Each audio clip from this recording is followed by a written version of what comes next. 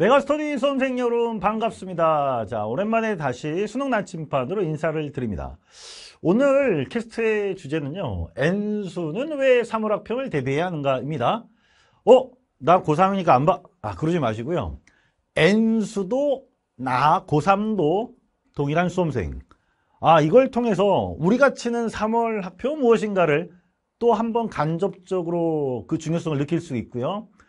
N수에게는 아주 중요한 또 하나의 어떤 지점이 될 테니까 자 우리 N수건 고3이건 간에 집중 선생님 얘기 좀 들어보시기 바랍니다.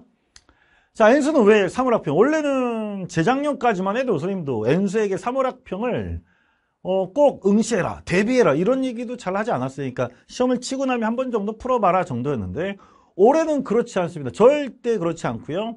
N수가 꼭 3월 학평을 응시 응시가 아니야 대비 대비해야 한다고 주장하려고 합니다. 자, 이유를 어, 설명해 드릴게요. N세계 올해 그냥 3월학평이 아니라 올해 3월학평이란 세 가지 의미를 가진다고 할 수 있습니다. 첫째는 고3 모두가 응시하는 시험이에요. 어? 그건 옛날에도 그랬잖아요. 맞아요. 그런데 여러분 이렇게 생각하셔야 돼. 지금 우리가 치는 수능 수학은 2025 수능 수학은 2024 수능 수학의 어떤 방향성에 입각해서 본다면 고3에게도 유리할 수도 있는 어 이러면 기분 나빠지지 또 나 불리해? 나 작년 고3이었는데 뭐 이런 생각하지 마시고 여러분 어 기존 기출형을 철저히 좀 이렇게 웬만하면 좀 빼고 가려는 강한 의지가 느껴지는 시험이었기 때문에 진짜 고등학교 때 내신 충실히 하고 교과 개념 충실한 친구들이 분명히 접근성이 좋아진 건 맞거든요. 그들이 모두 치는 시험이라 신경 써서 성의 있게 낼 거란 말이죠. 그건 어디서도 느껴지냐면 11월 고의학평, 작년 11월 고의학평 문제에서도 느껴져요. 수능 트렌드를 쫓아가려고 하고 있어요. 그래서 모두가 고3 모두가 치는 이 좋은 수능의 출발점이 될 만한 좋은 시험을 여러분들이 비껴가는 건 좋지 않다는 거죠. 자, 모두가 치는 시험에서 거봐 나는 이제 수학에만 수능 수학에만 아니야 수능에만 집중할 수 있는 N수니까 훨씬 더 안정감 있게 잘 칠 수 있어를 점수로 확인하세요. 점수로. 구체적으로 잘 치고 거봐 내가 할 수 있어라는 걸 목표를 삼아서 확인하시라고요. 아주 중요한 성취 동기가 될 수 있습니다. 두 번째 얘기입니다.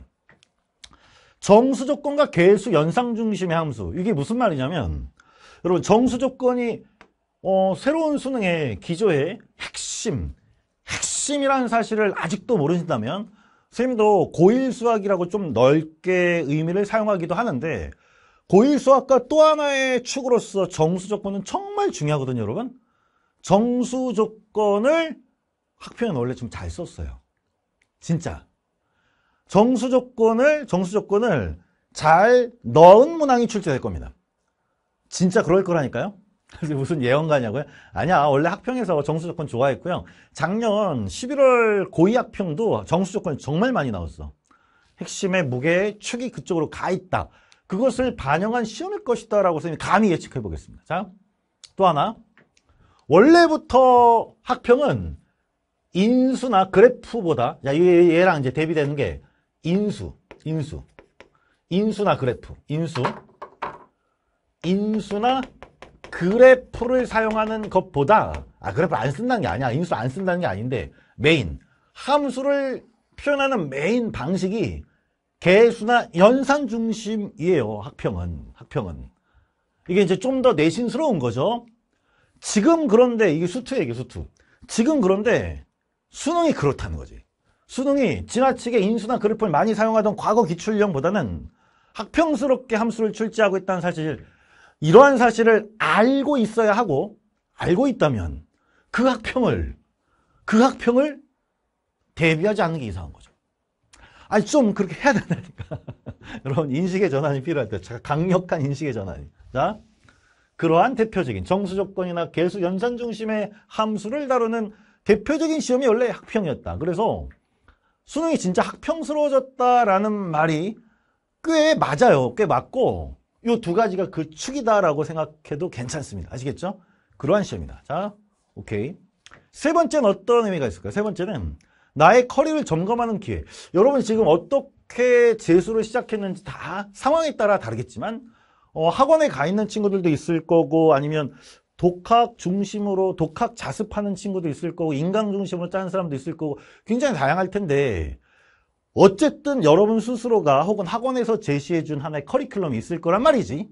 그것이 내가 아 이번 시험을 계기로 적합한지 여부를 판단할 수 있는 계기가 될 수 있어요. 반드시 그런 계기로 만드시기를 바라고요. 어, 어떻게 판단하나요? 아주 냉정하게 해줄게. 이 점수 안 나오면 커리큘럼에 대한 전면적인 좀 고민을 할 필요가 있다 이런 얘기야. 점수가 나와야 돼. 사물학평 점수가 잘 나오면 수능도 잘 칠 가능성이 높아요. 예전에 이제 평가원 수능과 학평이 막 괴리감이 생기면 사물학평 점수가 수능 점수야라는 얘기는 정말 잘못된 얘기야 라고 생각하던 시절도 있었는데 지금은 여러분 있잖아. 사물학평과 수능의 이런 상관성이 꽤 높은 시기라고 할 수 있어요. 기존 기출형이 많이 배제됐기 때문인 겁니다. 아시겠죠? 그러니까 내가 공부하는 커리, 인강이든 학원 커리든 자습으로 구축한 커리든 간에 현재의 수능 기조에 잘 부합하는지를 이번 점수로 확인하시라. 알겠네? 본인이 알아. 실수했네 이런 식으로 뭔가 좀 아쉬움을 다른 원인으로 돌릴 것이 아니라 혹시 이 시험이 나에게는 굉장히 낯설고 어 뭔가 빡빡하고 시간 부족하고 뭐 이런 어떤 불편함을 주는 시험이라면 커리큘럼을 되돌아보셔야 돼요. 너무 과거지향적인 과거에 했던 것을 그냥 그대로 이어가는 그러한 방식일지도 모릅니다. 아시겠죠? 자, 이런 아주 중요한 의미가 있기 때문에 대비하시라고요. 시험 범위 확인하시고 그리고 기출 문제도 좀 사물학평 거좀 다운받아서 한번 풀어보시고 그리고 각 과목에서 핵심적인 문항들을 한 번 더 리뷰도 하시고 그죠? 그렇게 해가지고 반드시 사물학 평을 대비하고 응시하길 권합니다. 하는 사람과 안 하는 사람은 차이가 클 거야. 이런 맥락을 좀 더 구체적으로 여러분 1년 코스에 대한 학습 비교 여러분들 학습 계획을 짜는 전망 이런 걸 좀 설명해 드리고 마무리하도록 할게요. 자, 학습 과정에 대한 인식 전환이 필요할 때다. 과감한 인식 전환이 필요할 때다. 그게 뭐냐면 첫째가 여러분이 이제 은연중에 이제 이렇게 생각을 정리한 건 아닐 텐데 은연중에 여러분의 상식에 이런 어떤 흐름이 잡혀 있을지도 몰라. 개념 해야 되나? 개념을 다시 해야 되나? 이제 물론 점수가 이제 꽤 약하게 나오는 친구들은 개념부터 하는 게 맞고요, 당연히. 그런데 아마 어느 정도 문풀까지 좀 하고 기출도 꽤 많이 본 상태라 내가 올해 다시 시작할 때 개념을 다시 봐야 하는지 기출을 어느 정도 수준에서 봐야 하는지 고민을 하게 하고 있을 거라고 봐요. 기출을 안 한다 그러거나 극단적인 생각하진 않겠지만 현실적으로 여기를 어떻게 해야 될 건가? 아마 고3 때는 이렇게 생각했을 거예요. 개념, 실정 개념, 그 다음에 기출 분석, 그리고 시간 남으면 엔제 모의고사 이렇게 했는데 그 개념이랑 기출이 완성되어서가 아니라 요거 요거 계속 매달릴 만한 건가에 대한 무의식이 있을 거란 말이야. 그죠? 계속 매달려야 하는 것인가에 대한 무의식이 있다는 것은 요걸로 충분히 수능 대비가 알차게 진행되지 않았다는 사실을 스스로 깨닫고 있다는 얘기이기도 하거든요. 그러니까 더욱더 해야 하나? 얼만큼 어떻게 이런 약간의 의구심을 가진 채로 하더라도 비중을 아주 높게 잡진 않으면서 선생님 얘기가 딱 맞죠? 자, 엔제를 뭘 풀까? 본격적으로 문제를 풀어서 보충해야겠다라고 생각하는 경향이 강한 것 같아요. 분명히 그럴 거라고 봐. 그리고 나서 실무도 많이 해야지, 많이 해야지. 여러분, 이렇게 산발적으로 중심 없이 많이 한다고 아주 효율 높은 공부가 진행되는 게 절대 아니야. 쌤 생각은 이런 한번 들어보세요. 올바른 방식은 이런 거야. 교과 개념이 필수. 이거는 수능이 변해도 절대 안 변해요. 내신 수준의 3점까지 문항들을 제대로 맞출 수 있는가는 먼저 확인, 확인 대상. 이게 잘 돼 있으면 굳이 이쪽에 힘을 많이 실을 필요는 없겠죠. 그 다음이 중요한데, 그 다음이 코어 기출을 이해하는가. 코어 기출이란 과거에, 자, 예를 들자면 이런 거야. 미분 가능성, 절대값 함수, 뺀 함수, 그래프가 접할 때 인수의 개수, 축과 만나는, 이런, 이런 어떤 흐름들, 이게, 이게 기존의 실전 개념 쪽이에요. 각 단원마다 유형마다 꽤 많이 있단 말이지.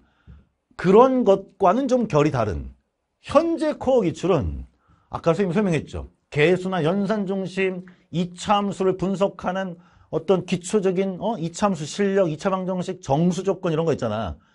이러한 코어 기출들에 대해서 이해를 먼저 하라는 거예요. 인식은 이- 이해도 중요하지만 인식이 이게 훨씬 중요해. 비중을 더 높여야 되라는 인식의 전환. 그게 필요해요. 아주 많은 양은 아니기 때문에 확실하게 걔네들을 이해하고 먼저 마스터하고 정복하겠다는 전략을 세우시고 그리고 나서 정돈된 엔제, 산발적인 엔제가 아니라 정돈된 엔제. 엔제는 엔제 중에서도 잘 정돈된 게 있을 수 있죠. 그죠? 어선생 커리로 치자면 비트게이 같은 거. 이런 정돈된 엔제. 이건 여러분이 코어 기출이 확실히 좀 틀이 잡히면 여러분 스스로 좀 엔제 중에 섬, 이렇게 껴맞추기 위해서 만들어낼 수도 있어. 코어 기출이 제대로 확장되고 있는가, 요 문제의식에 이어지는 문제들을 제대로 풀 수 있는가를 먼저 확인하시는 게 필요하다. 그걸 먼저 마스터해야 되겠다. 중심을 먼저 부여잡고 간다는 뜻이지. 주기적 테스트를 진행하면서요. 이런 전략을 세우셔야 돼요. 이런 전략. 마지막 실무로 가면 실무로 이게 확장되어 나가야지. 야, 이제 했는데 내 몸에 어딘가에 기억이 남아있을 거야.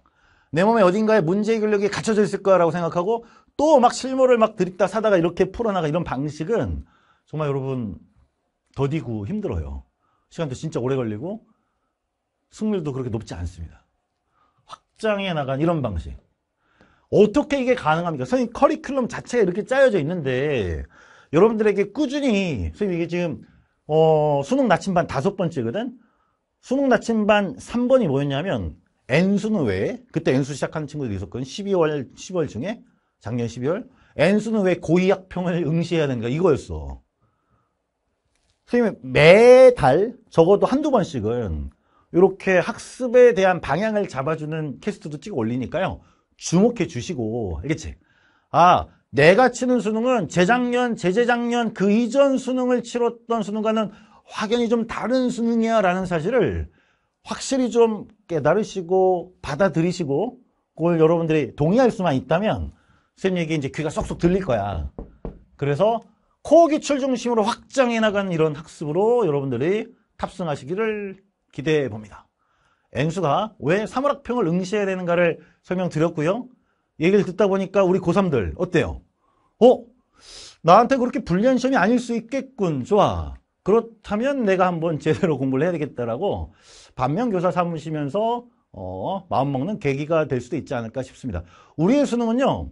이미 시작했고요. 자, 선생님이 정확하게 한 치의 흔들림 없이 길을 뚫고 갈 테니까 주목해 주시고 여러 공간에서 또 만났으면 좋겠습니다. 여러분 화이팅!